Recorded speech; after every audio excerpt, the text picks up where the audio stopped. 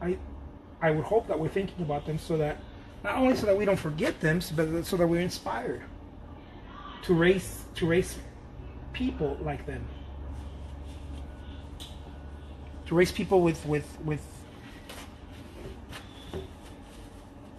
with those uh, with those dreams. With the dreams, right? Of, of wanting to, to do good for the world.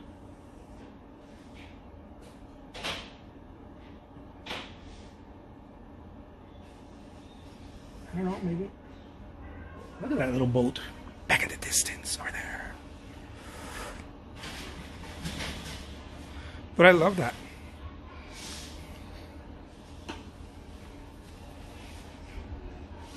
You know, whatever that is, I don't I don't know what, what it's going to look like having a goal that size. I don't know what that entails.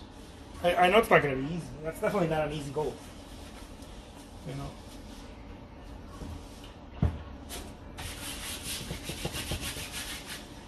People ask me, what do you want to do? I'm like, I want to impact the world. I want to be good. I want to do something good.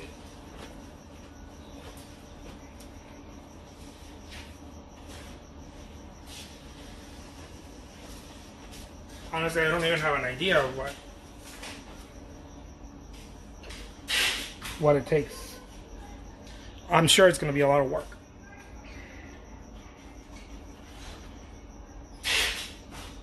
And I'm sure I'm not going to be able to do it alone. I'm sure of that. As the as the famous African proverb says, if you want to go if you want to go fast, go alone. You know, if you want to go far, you have to go with more people. You have to go with, with, with others, right? Go together. And so, all those uh, very lofty goals of changing the world, and they, they need they need um, they need a lot of fuel. It's like it's like trying to take a, you know, like Elon Musk over there is trying to take people to Mars. He's going to need a lot of fuel, not just in cash, but a lot of fuel. A lot of people have to believe in it. A lot of people have to have to be on that, have to drink that that Kool Aid. Just like the Wright brothers, right? You need a lot of fuel. Just like Edison, or Henry Ford, or you know,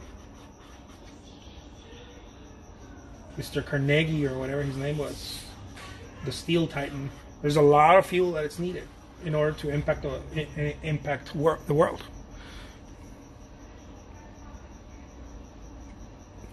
Thank you so much. Thank you so much. I'm trying. I'm trying, guys. I'm trying.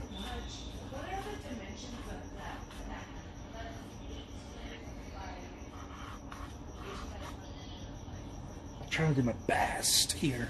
I really am trying to do my best, and I think good, good things happen when you try to do your best.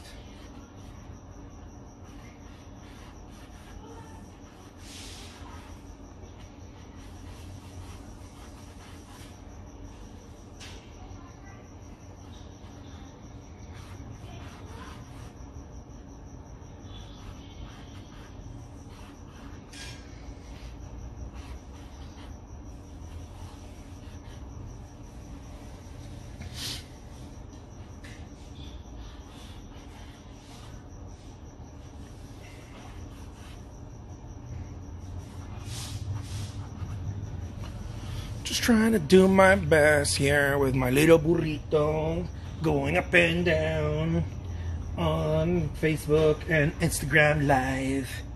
Just trying to do my best here with my little burrito going up and down on Instagram Live. Yeah, Instagram Live. This is this is how I entertain myself. Some people are like, "You're entertaining already. Just don't, you don't have to talk. Just paint." I'm like, you don't understand. I'm not. I'm not trying to entertain you. I'm trying to entertain myself. I have to put long hours here. Daniel. Hey, make sure you get your shoes on if you have drums right now. You gonna take him to drums again? Yeah, I have to take him to drums.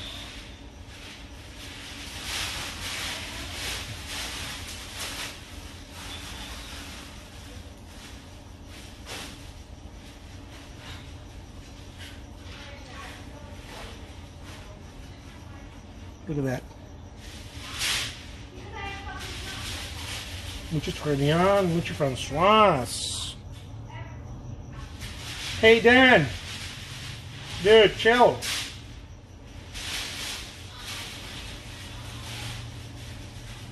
I have my whole family here in my studio.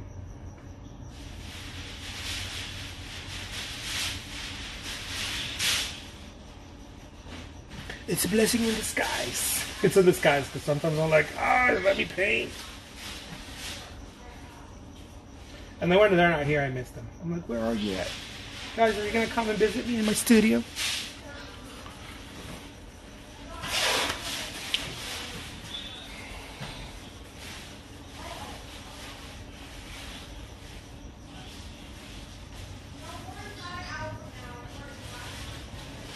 Look at this. Oh, mucho bueno. Mucho bueno, Francois.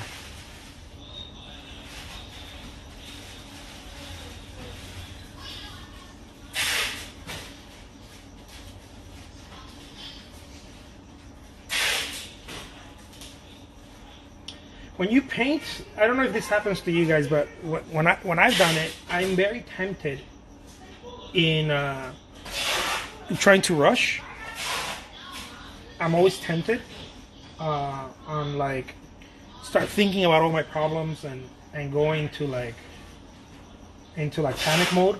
Like, oh my god, I gotta do this. Oh my god, I gotta do that. Oh my god, oh my god, oh my god, oh my god, oh my god. I don't know if this happens to you guys, but this shit happens to me. Uh, it doesn't happen to be as often as it used to. Um, but uh, I, I started to learn how to control it. And I, I wanted to do a I wanted to do a little uh, video on that, and and see if I could help someone else who goes through that when they're painting when they're creating artwork. Like if you if you get this anxiety that you don't that you know you need to be there but you don't want to be there because you have all these other things, and then you hate yourself for not being there because you know you have to paint because it's something important to you, and so it's like this almost like a self sabotage thing that happens? Yeah, I do ping with lots of noise in the background. Well, the noise in the background, it's because I'm in a working studio. The noise in the background is my son in his in his room. It's an office that I turned into his cool room. And and he plays uh he plays Xbox there with his friends and he does his homework there and he chills there when uh when he's here.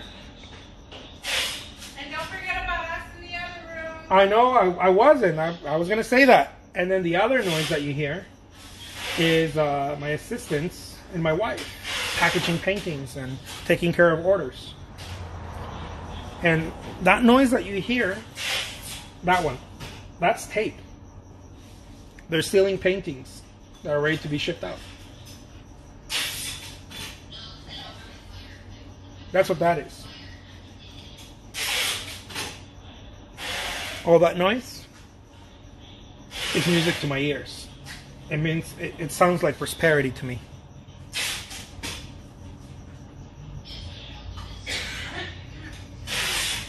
That's what that noise is.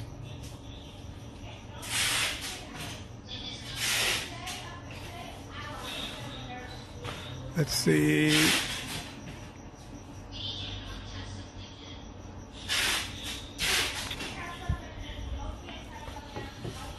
So sometimes I have a full studio here. Sometimes there's like six, seven people helping, and some other ones just kind of watching, which I hate.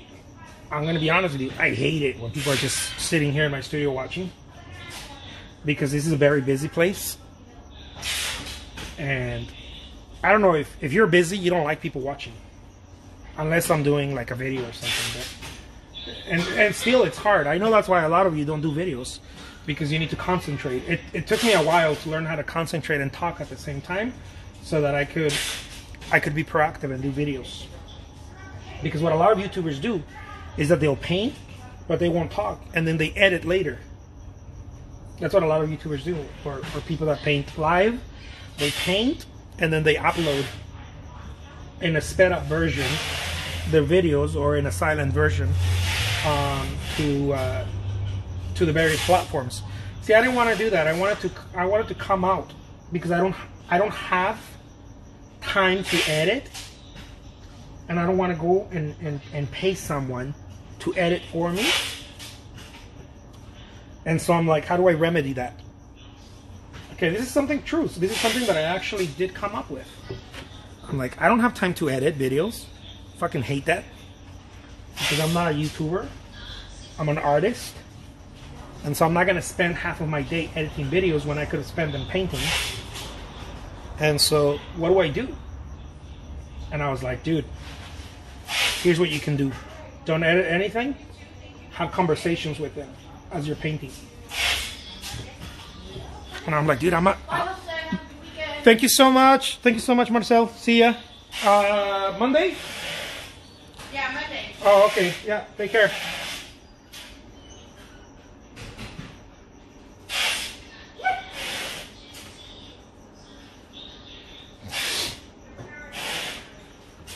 Look at that.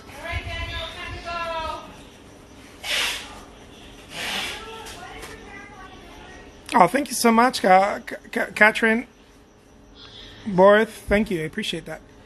You would cry if you're paying with so much noise.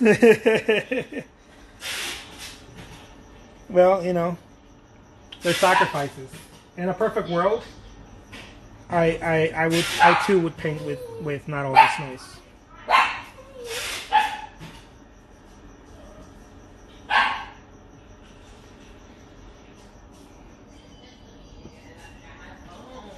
You forgot your phone? Can't go anywhere without your phone. Daniel, come on. Gotta go. Okay, Maud, Er- let's be quiet now. Oh no, I love the noise. Hey, Danielito. I love you. Take care, dude.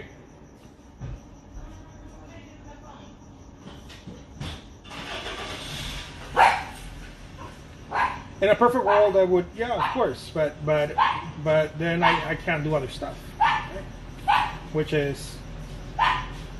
It, Daniel, come up here real quick. It's always you need you need you need paintings in the car. I put them in there already. Oh, okay.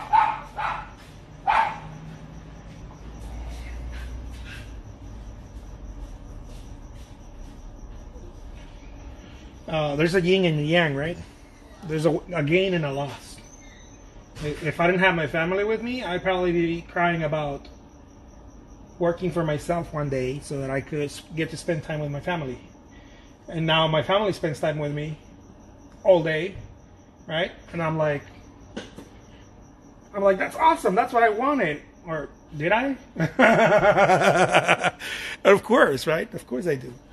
But but it comes with it, it's it's a yin and a yang, baby.